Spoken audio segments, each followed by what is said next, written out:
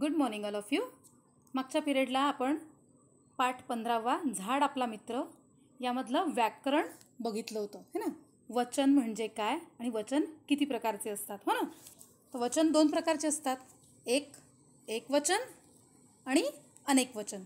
तर आता हे तुमच्या हे जे मी पिक्चर दाखवते तुम्हाला फोटो दाखवते हे तुमच्या पुस्तकात दिलेलं आहे बरं का? तर यातला आपण वरचा जो पोर्शन आहे झाडे लावा झाडे जगवा हे जे वरचं लिहिलेलं आहे हे आपण निबंध स्वरूपात लिहिलेलं आहे. त्यानंतर आपण एकवचन आणि अनेकवचन हा पार्ट व्याकरणाचा शिकत होतो. ठीक आहे? तर तुम्हाला एकवचन आणि अनेकवचन कळलेलं आहे सगळ्यांना? व्हेरी गुड आता हे तुम्हाला वहीमध्ये लिहून दे पुस्तकात तुमच्या लिहिलेलं आहे. बघा मी दाखवते. हे बघा. हा जो पोर्शन आहे बघा इथे दिलेला आहे एकवचन आणि अनेकवचन आणि एक वचन आणि अनेक वचन अशी सारखी असणारी काही शब्द ते सुद्धा तुम्हाला मी सांगितले होते. तर बघा इथे लिहिलेलं आहे तीन बॉक्स केलेले आहे. तीन बॉक्समध्ये लिहिलेले आहे. तुम्हाला एकदा समजलेलं असेल हां तर हे तुम्ही वहीत तुमच्या लिहून घ्यायचं. एक आणि अनेक. एक झाड अनेक झाडे. फांदी फांद्या. पक्षी पक्षी. पक्षी हे आपण आकडेवारीत सांगत असतो. एक पक्षी दोन पक्षी तीन पक्षी. है ना? असं. म्हणून पक्षी जसं मी तुम्हाला सांगितलं होतं एक वचन आणि अनेक वचन एकच शब्द अनेक वचनमध्ये पण येतो आणि एक वचनमध्ये पण येतो. ठीक आहे? तर हे तुम्हाला मी सांगितलेलं आहे आणि तुम्हाला कळलेलं पण आहे. हो की नाही? आत्ता तुम्हाला हे शब्द तुम्हाला तुमच्या वहीत लिहून घ्यायचे आहेत. बघा आणि याच्यानुसार मी तुम्हाला काही शब्द अभ्यासाला देणार आहे. तर त्यातले तुम्हाला एक वचन आणि अनेक वचन शोधायचे आहेत. ठीक आहे? बघा आता आपण एकदा वाचून घेऊया आणि मग पुढे जाऊया.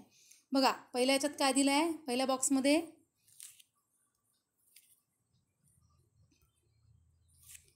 झाड झाडे फांदी फांद्या पक्षी पक्षी मूल मुले घरटे एकवचन घरटी अनेकवचन जनावर एकवचन जनावरे अनेकवचन ठीक आहे? मग बघा फूल एक फूल म्हणजे एक वचन. फुले अनेक वचन. फळ फळे. पान पाने. हे सगळं तुम्हाला आत्ता मी सांगितलं होतं हो की नाही? आणि शिकवलेलं पण आहे. आता तुम्हाला प्रॅक्टिससाठी मी काही शब्द देणार आहे. ते तुम्हाला ओळखायचे आहे सांगायचे. आहे माझ्यासोबत सोबत म्हणायचं. ठीक आहे? बघा लक्ष द्या. बघा लक्ष द्या. आता बघा. आत्ता आज आपण जे आपण पाहिलं एक वचन आणि अनेक वचन शब्द आता मी तुम्हाला हे शब्द अभ्यासाला दिलेले आहे. बघा स्वाध्याय दिलेला आहे. खालील शब्द वाचा अनेक वचनी शब्दासमोर आडवी रेघ ओढा. ठीक आहे? आता आपल्याला आडवी रेघ ओढायची आहे लक्ष द्या. पहिल्या याच्यात काय दिलं आहे फांदी फांद्या. आता याच्यातलं एक वचन कोणतं आहे आणि अनेक वचन कोणतं आहे? आता आपल्याला याच्यातलं अनेक वचन शोधायचं आहे म्हणजे भरपूर. है ना? मेनी.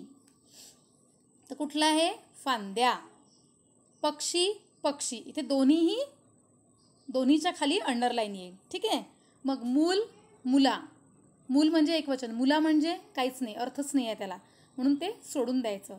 घरटे घरट्या. घरट्या हा शब्दच नाही आहे. हा चुकीचा आहे. म्हणजे इथे पण अनेक वचन दिसणार नाही. जनावर जनावरे. म्हणजे काय? जनावरे हा अनेक वचनी शब्द आहे. मग त्याच्याखाली अंडरलाईन येईल. फूल फुला. फूल एक वचन आहे. फुला मिनिंगलेस आहे. ठीक आहे? झाडे झाड्या. तर झाड्या हा शब्द मिनिंगलेसच आहे. असा शब्द नाहीच आहे. म्हणजे अनेक वचन इथे कुठे दिसतं आहे झाडे. हे अनेक वचन आहे. त्याच्याखाली अंडरलाईन येईल. ठीक आहे? मग मूल मुले. आता हे प्रॉपर शब्द आहे. मूल एक वचन आहे. अनेक वचन आपल्याला शोधायचं आहे. मुले हे अनेक वचन आहे. बघा आठव्या नंबरवर आहे. लक्ष द्या. बरोबर. मी जे सांगते आहे ते. नंबर वाईज जायचं आहे. ठीक आहे? नवव्या नंबरवर बघा. घरटे घरटी. घरटे म्हणजे एक घरटं है ना? आणि घरटी म्हणजे अनेक घरटी. घरटी कोणाची असतात बरं? पक्ष्यांची असतात. व्हेरी गुड मग बघा फुले फुली. आता हे फुली अनेक वचनमध्ये येत नाही. फुले हे अनेक वचनमध्ये येतं. म्हणून फुलेच्या खाली अंडरलाईनिंग तर हे शब्द तुम्हाला वहीत व्यवस्थित सोडवायचे आहेत. आता बघा हा पहिले हे असं लिहून घ्यायचं आणि त्यानंतर जे अनेक वचन आहे ते तुम्हाला तिथे अंडरलाईन करून दाखवायचं आहे ठीक आहे? समजलं? याचं तुम्हाला मी उत्तर तुम्हाला दाखवून देते तशा पद्धतीने तुम्हाला लिहायचं आहे बघा लक्ष द्या. बघा लक्ष द्या. हे अशा पद्धतीने येणार आहे. बघा फांदी फांद्याच्या खाली अंडरलाईन केलेली आहे मी. केलेली आहे ना? हां. आणि मग? मग बघा पक्षी एकवचनमध्ये पण येतं आणि अनेक वचनमध्ये पण येतं. आपण आत्ता पुस्तकात सुद्धा बघितलेलं होतं. हो की नाही? नसेल पुस्तकात तुमच्याजवळ पुस्तक नसेल तर याचासुद्धा मी फोटो तुम्हाला टाकणार आहे. ठीक आहे? बघा मूल मुला दोन्ही मिलिंगलेस आहे. घरटे घरट्या. आपल्याला अनेक वचन शोधायचं आहे लक्षात घ्या जनावर जनावरे. इथे सुद्धा जनावरेच्या खाली अंडरलाईन केलेली आहे हां. मग फूल फुला. आता इथे सुद्धा आपल्याला अनेक वचनच बघायचं आहे. ठीक आहे? अनेक वचन कळलं की एक वचन पटकन कळतं. ठीक आहे? सातव्या नंबरवर बघा. झाडे झाड्या झाड्या नाही आहे झाडे हे अनेक वचन आहे. मग मूल मुले मुले अनेक वचन आहे. म्हणून त्याच्याखाली अंडरलाईन केली आहे इथे रेडनी मुद्दाम मी दाखवलेला आहे जेणेकरून तुम्हाला अनेक वचन कोणता शब्द आहे कोणता शब्द अनेक वचनमध्ये बसतो आहे हे क्लिअर झालं पाहिजे. म्हणून मी अशा पद्धतीने तुम्हाला लिहून दिलेलं आहे. हं. तर तुम्हाला अशा पद्धतीने जर लिहायचं असेल तर तसंही लिहू शकता. किंवा कलरफुल पेन्सिलनी अंडरलाईन केली तरीही चालेल. ठीक आहे? बघा घरटे घरटी नवव्या नंबरवर बघा. घरटी हे अनेक वचन आहे. फुले फुली याच्यामध्ये फुले हे अनेक वचन आहेत हे असे सगळे शब्द तुम्हाला वहीत सुंदर अक्षरात व्यवस्थित लिहून काढायचे आहेत. ठीक आहे? आता बघा आणखीन एक शब्द आपल्याला एक पोर्शन राहिलेला आहे आपला. शब्दार्थ. आता जे आपण निबंध स्वरूपात जे लिहिलेलं आहे झाडाविषयी माहिती लिहिलेली आहे त्या माहितीमध्ये काय काय लिहिलेलं आहे? त्याच्यात कुठले कुठले शब्द गेलेले आहेत? ते सगळे शब्द तुम्हाला तुमच्या वर्कबुकमध्ये दिसतील. वर्कबुक नसेल तर मी तुम्हाला इथे लिहून देतेच आहे.